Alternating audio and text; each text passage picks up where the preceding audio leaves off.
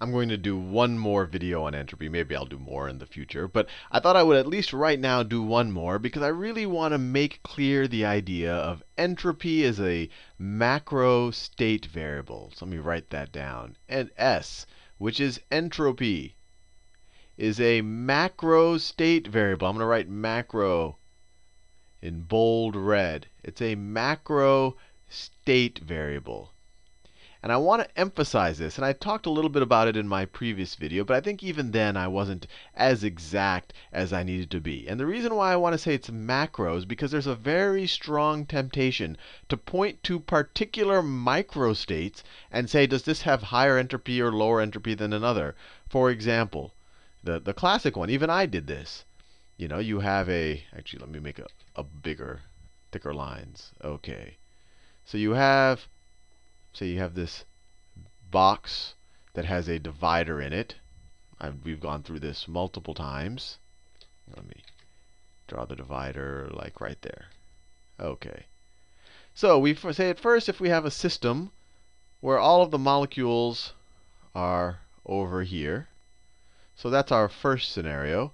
And then our second scenario, we studied this a lot. We blow up the wall here. We blow up the wall here. And we, we actually calculated the entropy.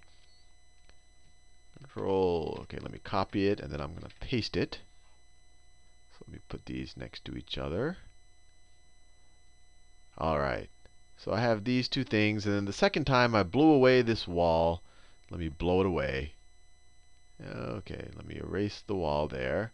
And then we said once the system reaches equilibrium again, Remember, for a system, uh, these macro state variables like pressure, like volume, like temperature, like entropy are only defined once the system is in equilibrium. So once the system is in equilibrium again, you know, these particles are now, I want to do the same number of particles. So maybe some, let me erase some of these particles. Let me move them. Let me see if I can select some. So, whoops, no, let me see. I could select these particles, and I could move them there.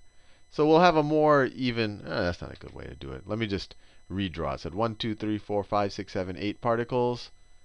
Let me erase what I have. I'll make it with a more even distribution. So then once I blow away the wall, I might have 1, 2, 3, 4, 5, 6, 7, 8. Now the reason why I'm doing all of this is because there's a temptation to say that this state, this state, what I just drew you when I, you know, made sure to blow these away and draw 8 more, I drew a micro state. This is a micro state. This is a micro state where I'm actually, anytime someone's actually drawing molecules for you, they're drawing a micro state. They're drawing a micro state.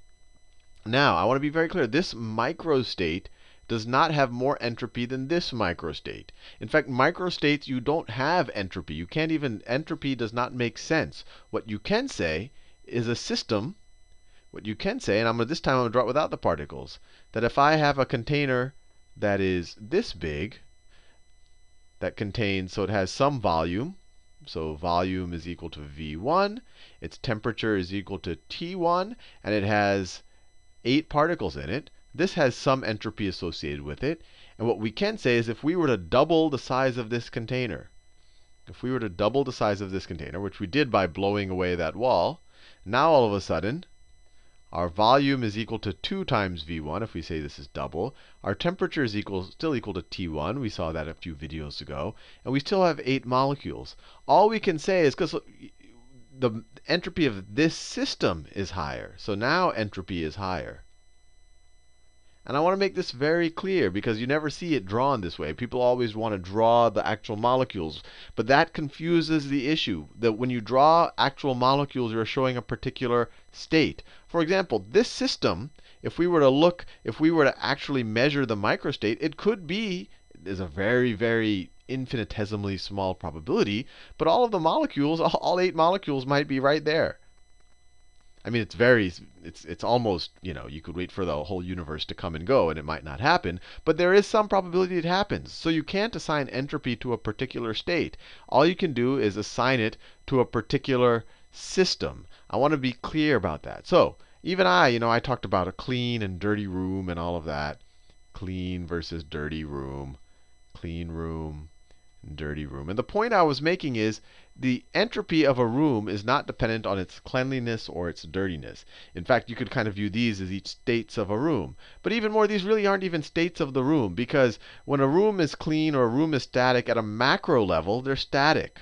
Or when when they're when they're you know if if you know if if I have a a you know my my books are lined like let me see you know sometimes people look at a deck of cards and say oh if I have all my cards stacked up like this or if I have all my cards that are all messy like that, you know, all messed up around, that this has higher entropy.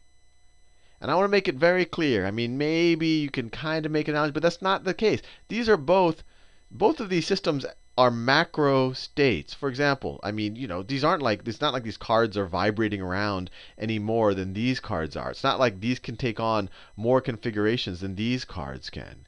So when you talk about entropy, you're you're trying to take a macro variable that's describing at a micro level. And the cards themselves are not the micro level because they're not vibrating around continuously doing, due to some kinetic energy and whatever. It's the card's molecules that are at the, at the micro level. And if these cards, if you have the same uh, you know, mass of cards as you have here, and if they're at the same temperature, the molecules in these cards can take on just as many states as the molecules in these cards.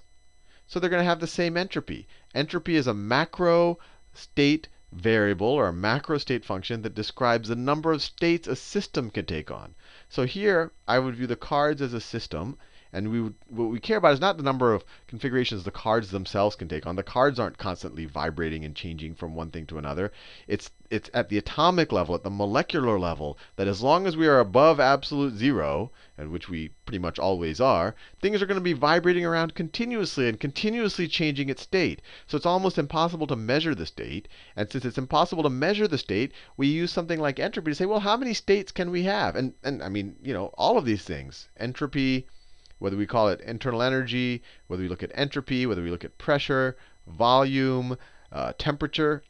These are all, if you can think about it some way, these are shortcuts around having to actually measure what each molecule is doing. And entropy you can kind of view it as a meta shortcut. I mean, temperature tells you average kinetic energy. This tells you all of the energy that's in it. This tells you, you know, how, how frequently the molecules are bumping against a certain area. This tells you on average kind of where you know the outermost molecules are. Entropy is kind of a, you can almost view it as a meta state variable that tells you how many states, how many microstates can we take on. So I just want to make this very clear because this is often confused and people, there's a very, very, very strong temptation to point to a particular state and to say that that has higher entropy than another. That somehow that you know this state is more entropic than that state. That's not the case. This system is more entropic than this system then this half box it has more volume. If they have the same temperature and the same and and the if they have the same temperature and with more volume, then its particles can take on more possible scenarios at any given moment in time. Anyway, hopefully you found that a little bit useful. I just want to make it very, very, very clear because this is often, often, often confused. This is a macro state variable for a system, where a system is composed of these you know things that are bumping around randomly every you know millionth of a second they're changing state so you don't even you can't even it's very hard to even measure one of the microstates. You can't point to a microstate and say oh this is this has higher entropy than another. Anyway see you in the next video